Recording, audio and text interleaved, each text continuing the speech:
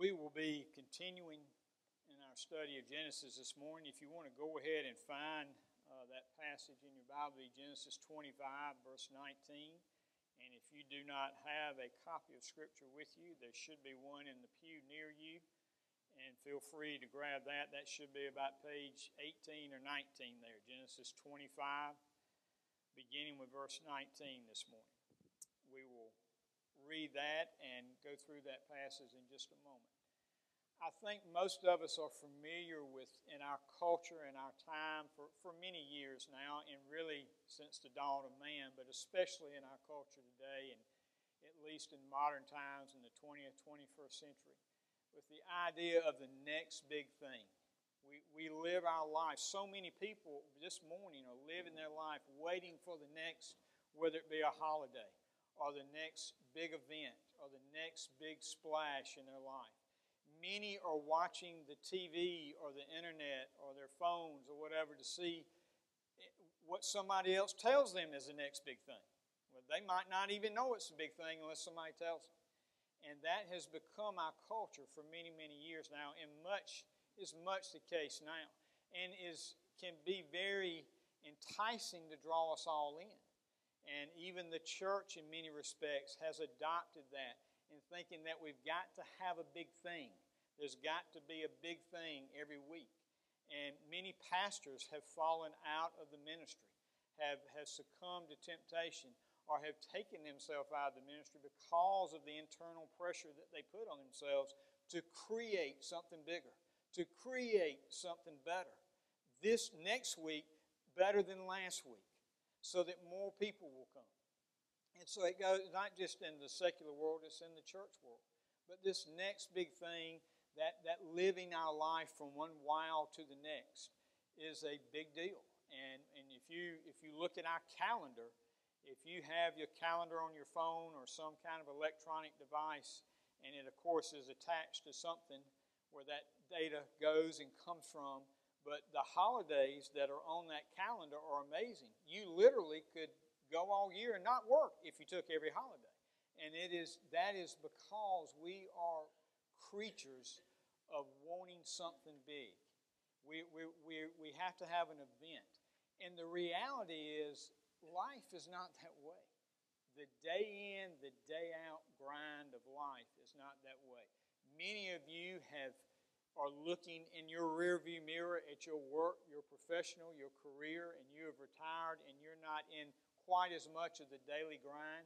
But you can tell younger people that it is. It is a daily grind, not necessarily in a negative way, but it is going to be day in, day out, getting up, going to work, coming home, dealing with those problems, getting something to eat, going to bed, and get up the next day and do it all again for the next 35 or 40 years.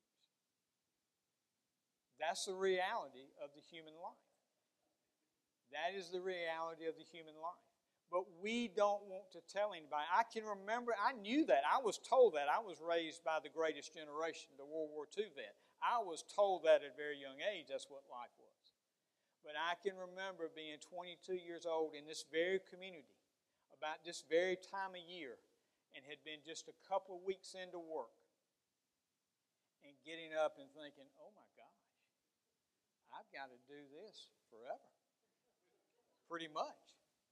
And that was a, that's a rude awakening to somebody who has been in college the last four years. And that's back when college was really college and it really wasn't a vacation, in a safe place. Excuse me, I digress. But when we, when we realize that reality that life is a grind, that life is a grind, there are ordinary things that have to take place. And folks, I'm here to tell you this morning from God's Word that the Christian life is a grind.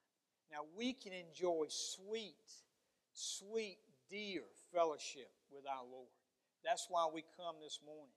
We come to enjoy that fellowship together and worship Him. And if we're believers, we should, we should feel that. We should know that. We should long for that. Remember last March when we were shut down and couldn't meet for a few months? and we talked about and we prayed for, boy, I cannot wait till we come back and there'll be a new desire Well, for many, there's not a new desire. The old desire left because they may not have really even had a desire at all. But for those of us know the Lord, who are in relationship with Him, there should be a desire to meet with His people. There should be a desire to meet together. And yet, even in the, the grind of the spiritual life, there's sweet fellowship there. But understand that when you were saved, for, for many people, not the thief on the cross, who died just in an hour or so, a couple of hours maybe, after he was saved. But for most of us, not everybody, but for most, the majority of mankind that God saves, we live a number of years, some many decades, where we are in that grind in a sinful world. And we're an alien to that world. And the world is different from us. And that makes it hard. And God, you do understand that when He saves you, He could immediately glorify you. And, and you would you, we all would be perfectly perfect then. But God doesn't choose to do it that way. How do I know that? Because I can read Scripture.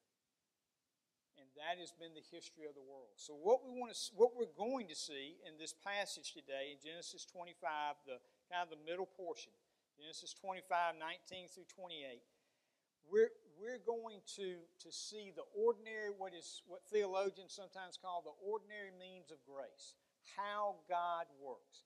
God can, God can perform a miracle. He could take all of us to glory right now. But He doesn't choose to do that. He chooses to teach us. He chooses to teach us to rely on Him, to trust Him, to grow our faith, and believe Him rather than the world, to believe Him rather than, than Satan, than the enemy. And so there's an ordinary meaning. Those, that ordinary means is His Word and prayer. And how that works through the ordinances in the church. Not that the Lord's Supper or baptism saves you, but how His Word is exalted in that. How we are exalted in prayer, in, in word, when we read the Word, when we hear the Word, when we preach the Word, when we listen to the preached Word, that we is hopefully God is glorified, but we are or spurred on by that. That is the ordinary means of grace. That's what that's talking about. Not some next big thing, not a big wow. But God tells us. He tells us how to worship Him with the Word and the Spirit, with Word and prayer, and, and, and, and using that in music, using that in the ordinances, using that in giving. That's how we worship God. He tells us that. So those are the ordinary means. And we see that in chapter 25 here today with the birth of Esau and Jacob. Many of you know this story or familiar with it, but hopefully God will, will teach us a greater depth today about what He. And what we're going to specifically see is how God chooses His people, how He chooses His children, and then the imperfection of those that are chosen, and how that exalts God even more. Some of you are looking puzzled at me, and that's okay. But let's go to the Scripture and hopefully, you'll see what God has gloriously shown me this week and the great deep truths that He, he gives us through this history that He unveils here in the book of Genesis. Genesis 25, verse 19. These are the generations of Isaac, Abraham's son. Abraham fathered Isaac, and Isaac was 40 years old when he took Rebekah, the daughter of Bethuel, the Aramean, the of Paddan, the sister of Laban the Aramean, to be his wife. And Isaac prayed to the Lord for his wife, because she was barren. And the Lord granted his prayer, and Rebekah, his wife, conceived. The children struggled together within her, and she said, If it is thus, why is this happening to me? So she went to inquire of the Lord. And the Lord said to her, Two nations are in your womb, and two peoples from within you shall be divided.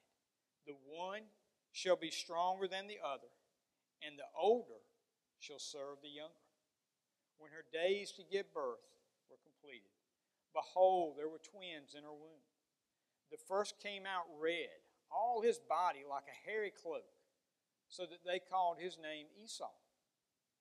Afterward, his brother came out with his hand holding Esau's heel. So his name was called Jacob. Isaac was 60 years old when she bore them. When the boys grew up, Esau was a skillful hunter and a man of the field, while Jacob was a quiet man, dwelling in tents. Isaac loved Esau because he ate of his game, but Rebekah loved Jacob. Let's go to God in prayer as we begin to hear his, his word and the intent of his message this morning.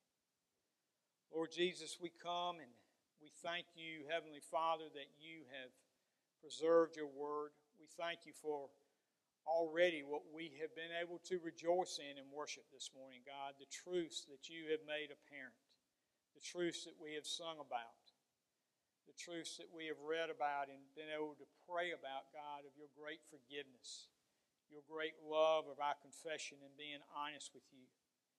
And Lord, we come now to a time where we read this text. And Lord, I pray that, that all of us will know that that this is your word, God, that we won't have to be warned like the children of Israel and Amos, that there's a famine coming because we have not loved your word, because we've taken it for granted. I pray, God, that we will hold fast to this, that you will open our ears, God, open our hearts and minds to the truth of what you have given your servant Moses to write down in, in, this, in this text and how it applies to us today, God, that we might be exalted, Father. And we pray this in Jesus' precious and holy name. Amen. Again, we want to look at this, this narrative, this story of Rebecca having her children, and how that applies to us today, and how it applies to the church universal. Not just today, but for in all time. And there, there are deep truths here, and we, again, the great benefit of preaching through a book is that you can't skip these. That you can't, you say, why do you want to skip the birth of a child? Well, because of what it, it, it leads to, because of how it's cited in other parts of God's Scripture, in the Old Covenant and the New Covenant.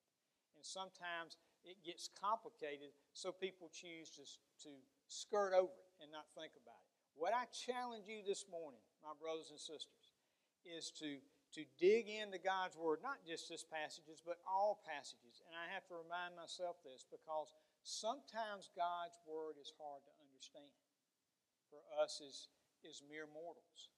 But with the Holy Spirit residing in us, and through prayer, the ordinary means of grace, as we see here, God will show us His truth. And just because it may be hard to, to accept because it's not what I think, I ask you to continue to struggle with it and not shut God's Word and do without so that you don't have a famine in your own life and it's void of God's Word. So, with that preface, we go into this passage and see that we've seen Abraham die last week. He's been buried there with Sarah and the, the plot he purchased. And now the next 10 or 11 chapters will be about Isaac and his family, his heirs. The child of the promise, remember. That's who God is going to make the promise come true land, seeding, blessing through Isaac. And so we see his birth here, and now we see that he, at the generations of Isaac, he's a grown man, and he's taking his wife. You studied this a couple of weeks ago when David was here, and how he secured Rebekah how Abraham secured Rebekah for him, and that was the wife that God had for him. So now they're married, but she is barren, just like Sarah was. Amazing how God that that grind, that that facing challenge, that facing hardship, and we see right here the the prayer life of Isaac. We know that he's 40 years old when he gets married, when she finally gives birth, he's 60. For 20 years, he prayed. Now, we don't have a daily journal of his prayer journal. He didn't post it on Facebook. He didn't take a video of himself praying and show it to everybody. So everybody would be awed by him. But we know that for 20 years, prayed in a consistent, persistent fashion because his wife was barren. Now, let's not be oblivious to the truth. Isaac was Abraham's son. Remember, this is the one Abraham took up and put wood on his back and strapped him on an altar and had the knife out and the flint out ready to set him to fire and sacrifice. This is the same man. So he knows about the promise. Trust me. He knows that he is the child of the promise. And yet, here he has secured a wife who is barren in 20 years, 19 years into marriage, there's nothing. We've heard this story before, have we not? It was 25 years after God promised Abraham that Sarah gave birth. And this just this is the means by which God operates, folks. Could God have made Rebecca pregnant on her wedding night, even though she was barren? Absolutely. So you mean, okay, Pastor, Isaac then, Isaac caused her to be pregnant. Really, that, that pregnancy, that life was not a gift of God. No, incorrect. It was a gift of God. But God used Isaac's prayers. Because what happens when we pray, folks, when we have deep prayer, when we have deep prayer, we grow our relationship. Do you know yourself, any relationship you have with a spouse, with a friend, with a child, with a niece or a nephew, a grandchild, anytime you spend time in conversation, that relationships grow. That, that relationship grows, especially conversations about hard things. And sometimes it doesn't go well when you're talking about those hard things. But when you persist, when you keep going over a period of weeks, months, and years, God blesses that. And you, you deepen that relationship. That what, that's what happens when we pray. Gary Millar, uh, a British theologian and really an expert on prayer, in, in one of his books, Calling on the Name of the Lord, a Biblical Theology of Prayer, says, gives a simple definition for prayer calling on God to come through on His promise. Because God has given us promise. If you're His child this morning, God has promised certain things to His children. There's certain general promises that He's given. Isaac knew that he was the child of the promise. It doesn't necessarily say that, but understanding the context of what we read in the previous 24 chapters, I believe Isaac knew this. And so he is calling on God to make good on his promise. He's being persistent in prayer. Calvin said this, what we can learn about that. And as Isaac teaches us by his example, to persevere in prayer. So God also shows that he never turns a deaf ear to the wishes of his faithful people, although he may long defer the answer. You hear that? He will not deny the the prayer of the faithful and the faithful prayers in accordance with His will. But He may defer that answer for a long time. Some of you are sitting here this morning that have been praying for somebody or something for a number of years and it hasn't happened. You have a child, or you have a grandchild, or a loved one, or maybe a spouse, or somebody that you care deeply about that you know is still in rebellion to God. They're not saved, and you struggle with that.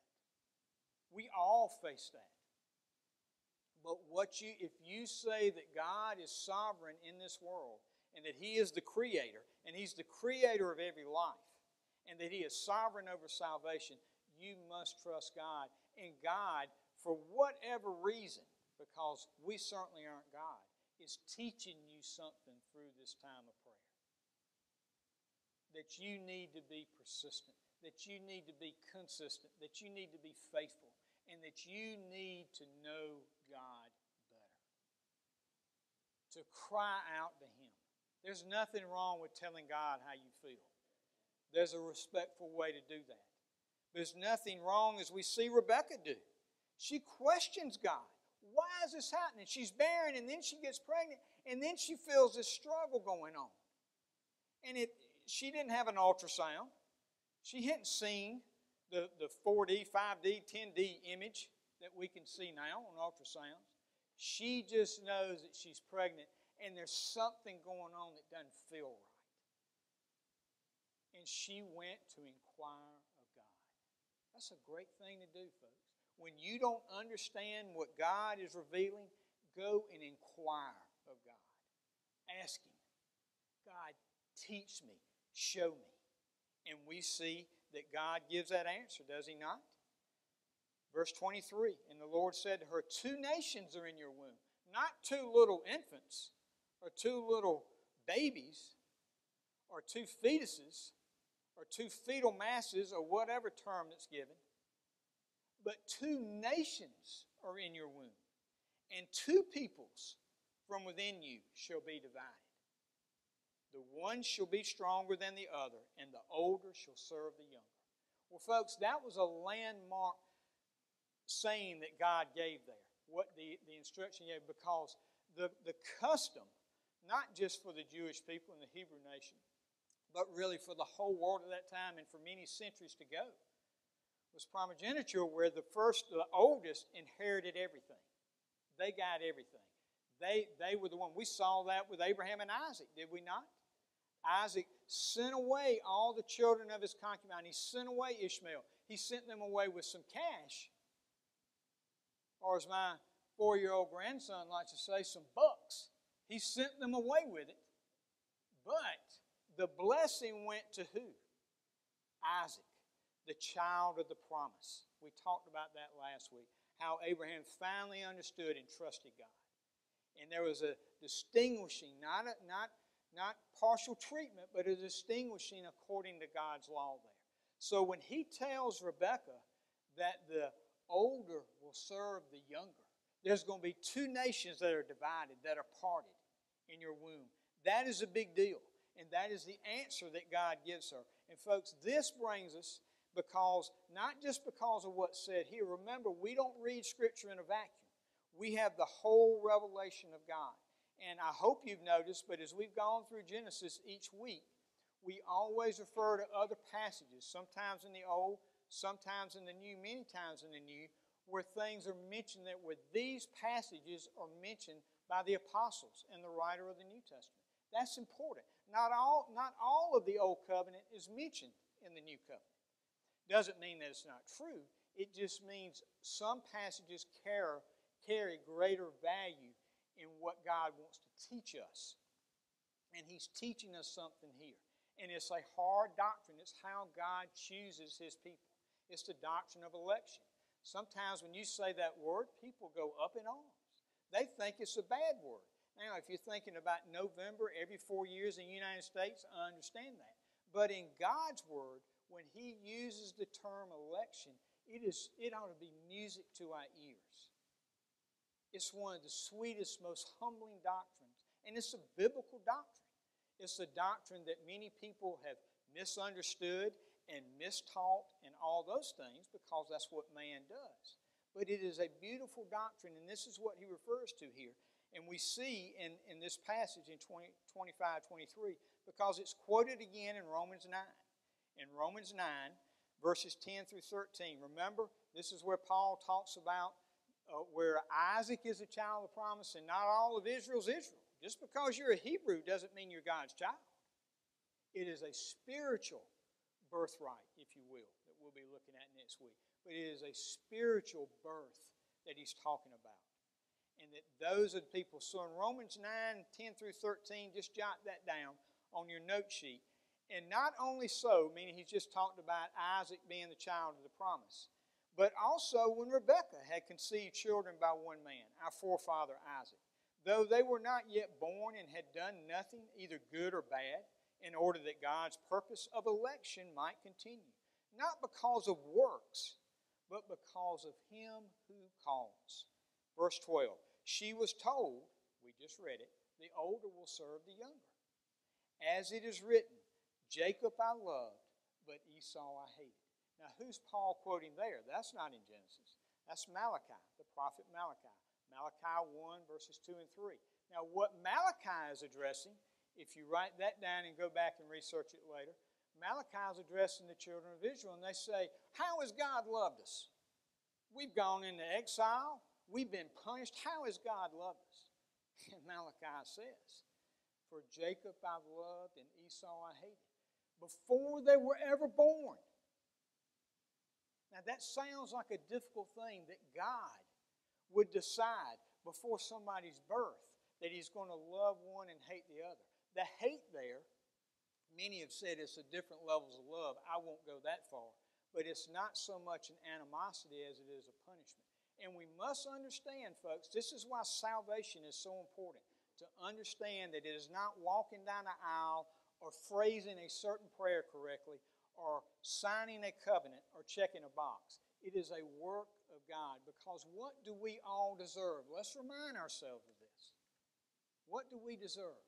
We deserve eternity in hell because we are sinners. We are dead in our trespasses and sins. I didn't come up with this rule. If, I, if it was left up to me, we all would go to heaven. We'd be having a party right now. But I'm not God. And my ways are not His ways. And my thoughts are not His thoughts. But what we see in this is God's great mercy. That in this case, Jacob, who is the child of Isaac, Abraham, Isaac, Jacob, that he singles Jacob out. And before he's ever been born, he says, I'm going to show my great love and mercy of him. And I'm going to have a people all over the world throughout the history of time, ever how long that is before God comes back to take us home. From every tribe, every nation, every people, every language, that will be mine, my treasured possession and I'm going to secure them. Not because of anything they do. And you say, wait, I just don't like that, that terminology. Well, you need to get over that, ter- that, that not liking because it's biblical terminology. Throughout, throughout Scripture, Paul says it in Romans, Paul says it in Ephesians, Peter talks about it in his letter. He refers to the children of God as who? The elect. That's who we're called elect exiles. That's who he addresses his, his letter to. And that just means, just like saints, it's another word for Christian, for a follower of Christ. The Baptist faith and message, our statement of faith, let me remind you, if you're a member of Green Pond Baptist Church, this is our statement of faith. 2000, Article 5, and it is labeled God's purpose of grace. Refers back to Romans 9.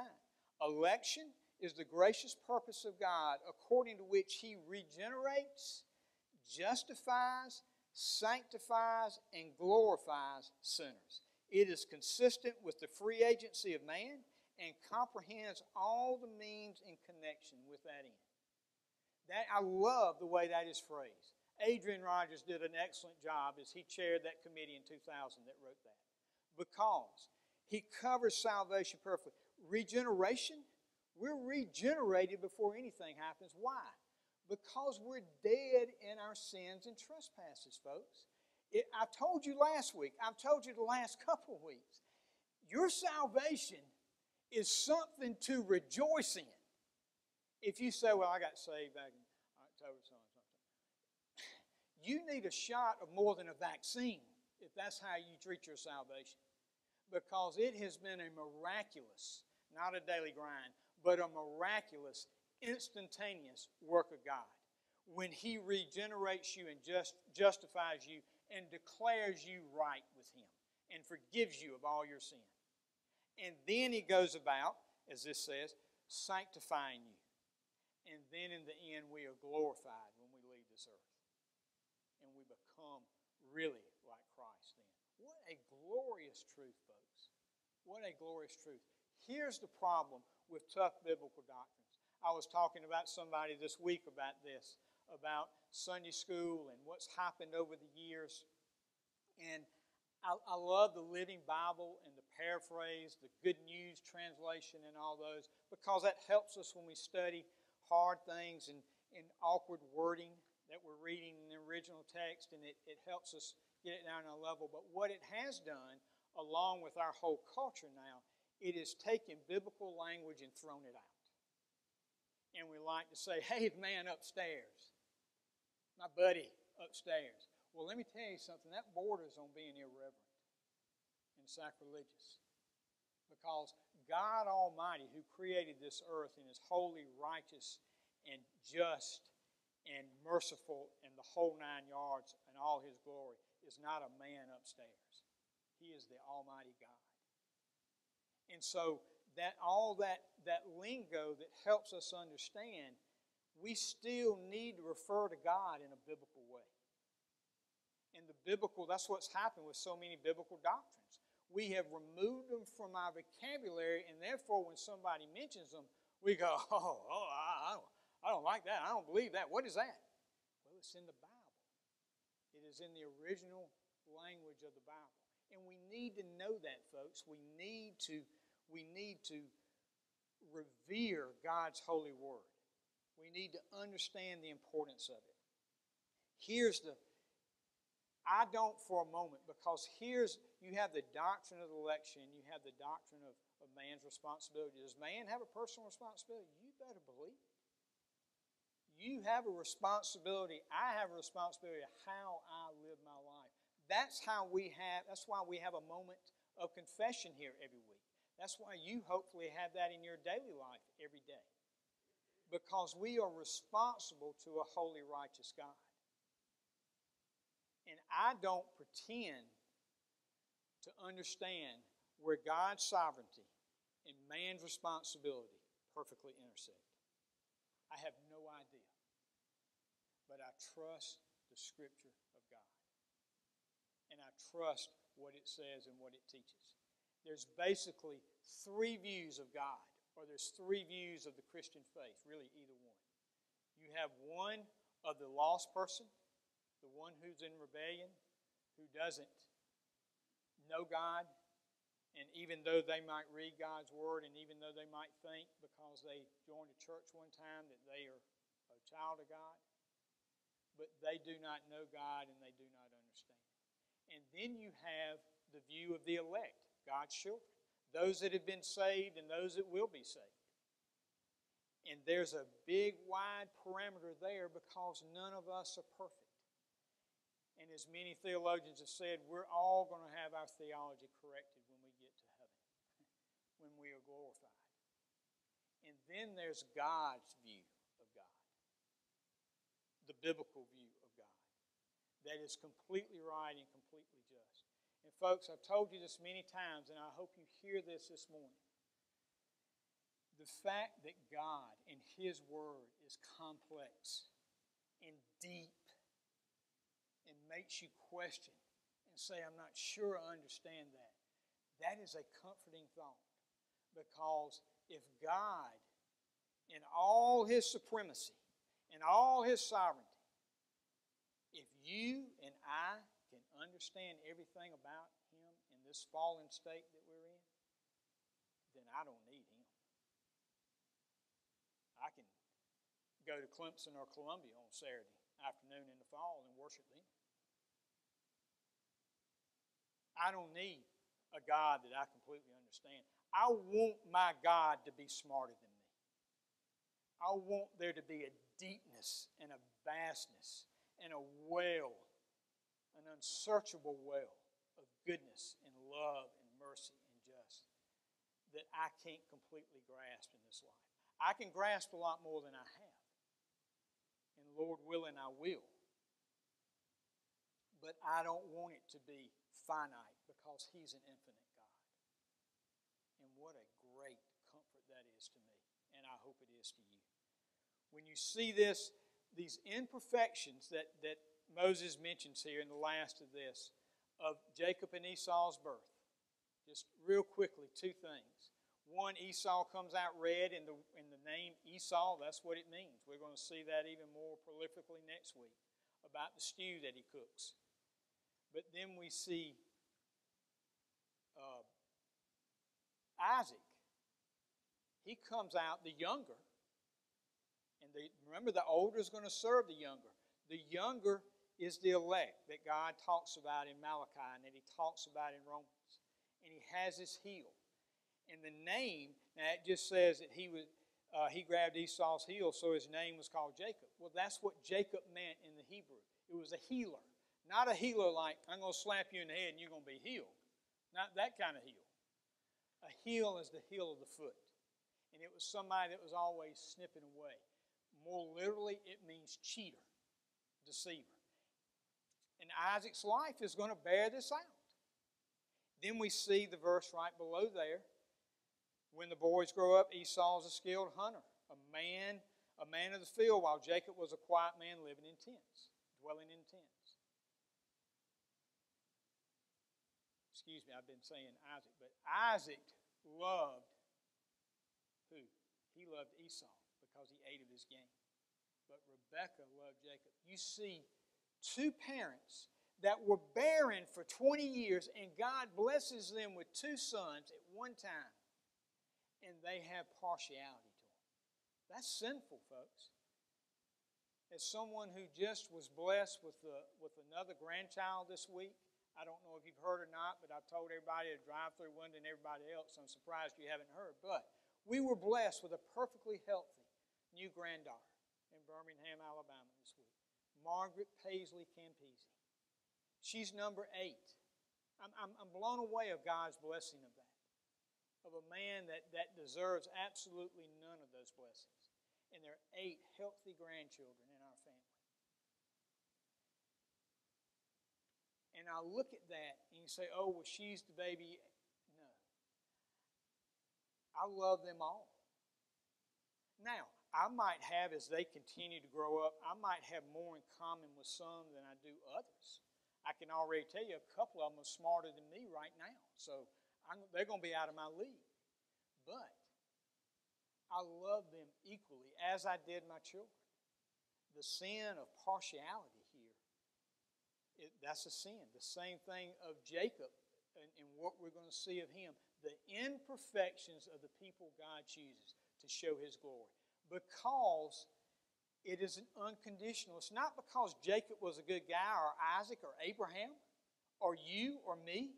It is simply God's grace and mercy that He saves us. Is that not a glorious truth, folks?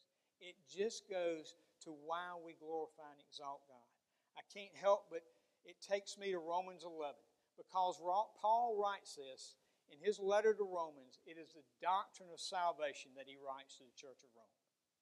If you want to understand your salvation, spend a few years reading Romans, and it will begin to make a little better sense in. I'm still trying to figure mine out because it is a deep book with deep truths in it. That it is a gift of God and not of works. And we say that kind of casually, but that's a big deal. And Paul explains that. But at the end of those three chapters, he talks about the role of Israel and God's relationship with Israel and all of that. And at the end of all of that, at chapter 11, beginning with verse 33, he, he goes into that, he breaks into that doxology as he's writing this. If you don't believe it's inspired by God, it has to be because it's just so wonderfully written. He says, Oh, the depth of the riches and wisdom and knowledge of how unsearchable are his judgments, how inscrutable are his ways. And then he quotes from Isaiah and Job For who has known the mind of the Lord? Or who has been his counselor?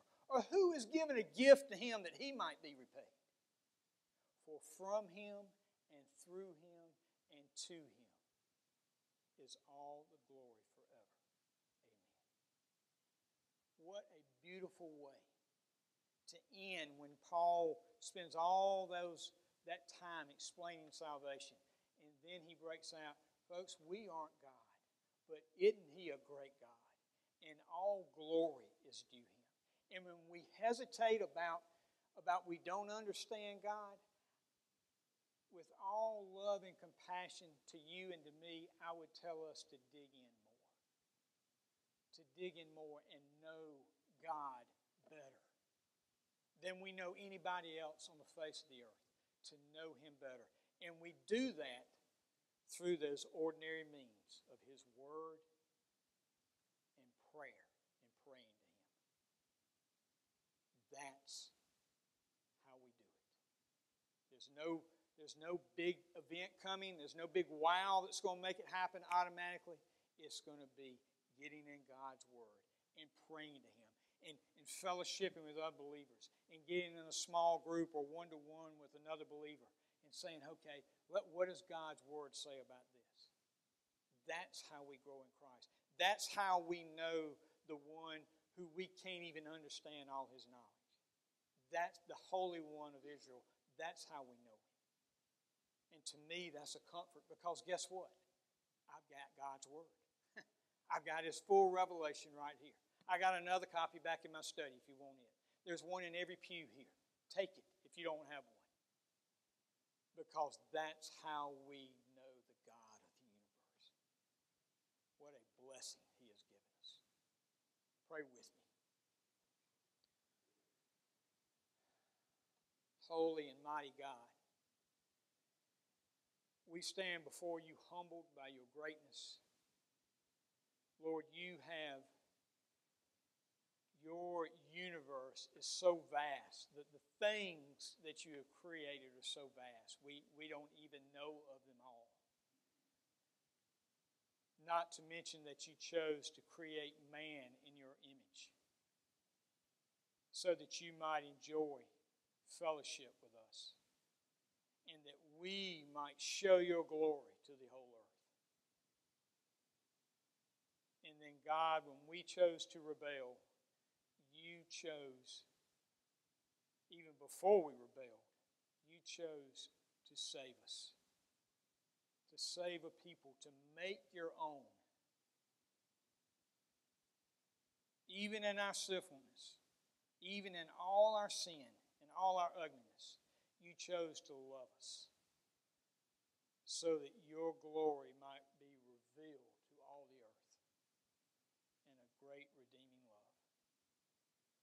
Lord, you are indeed a great God. We have sung about that this morning. We have prayed about that. God, we pray that you've been glorified in that. And we pray that as we exit this place today, Lord, that you will be glorified in our understanding of your greatness and your goodness. And we pray this in the everlasting